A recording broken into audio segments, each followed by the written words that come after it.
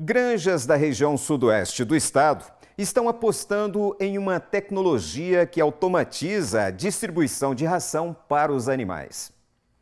O Matheus Albernaz foi conhecer o sistema e nos conta agora na reportagem.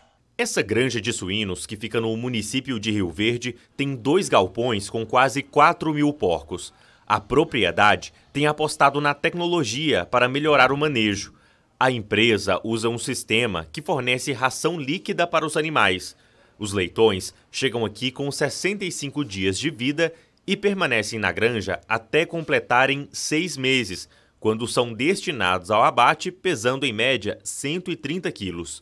Nesse sistema de alimentação controlada, todos os animais consomem ao mesmo tempo a mesma quantidade de ração e a gente tem um lote mais uniforme ao final do abate. Primeiro, a ração é colocada nesses silos cada um com capacidade para 18 mil quilos de ração.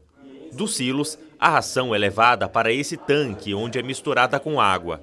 Daqui, o alimento é distribuído para os quatro galpões por meio de um sistema de encanamento tudo controlado por um computador. O computador ele determina a quantidade que o animal consome cada dia, faz essas contas e para cada baia onde os animais estão alojados, ele manda exatamente a quantidade que o animal precisa consumir naquele dia. Se, por exemplo, um animal morrer, os funcionários precisam dar baixa no computador.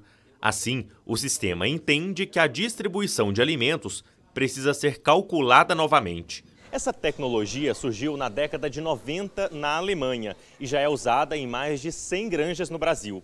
A maior parte delas fica aqui em Rio Verde, no sudoeste de Goiás. Só nessa indústria de alimentos, 70 granjas usam esse sistema para fazer o manejo. Mas para bons resultados, não basta apenas contar com a estrutura. É preciso mão de obra qualificada, algo que criadores estão tendo dificuldade de encontrar.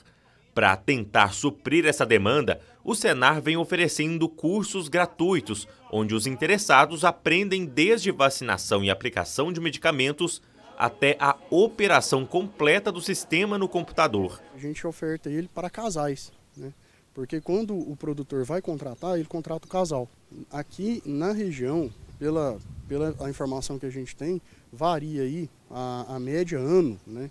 de cerca de 5 a 6 mil reais de salário que um casal desse ganha para trabalhar na propriedade rural. O Erivelton e a esposa Lucilene já saíram do curso empregados. Ficaram tão felizes com a oportunidade que já pensam em expandir os conhecimentos. A gente está fora, querendo, querendo mudar logo para poder começar o trabalho. Eu, eu tenho outro curso também, que é de trator também.